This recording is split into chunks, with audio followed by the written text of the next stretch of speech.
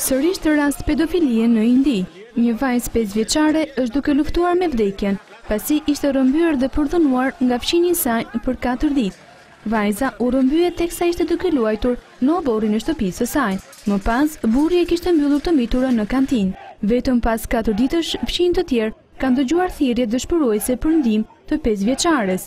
Doktori, i cili e ka ekzaminuar vajzën e vogël, është shprehur se ky është një nga rastet më të tmerrshme që kam ekzaminuar dhe se 48 orët në vijim janë vendimtare për jetën e vogëlushes. Ky është rasti i tretë i rrëmbimit të të miturve këtë muaj, Në zonën e New Delhit, më herët gjatë javës, një dhjetëvjeçare u rrëmbye teksa zbriste nga autobusi i shkollës.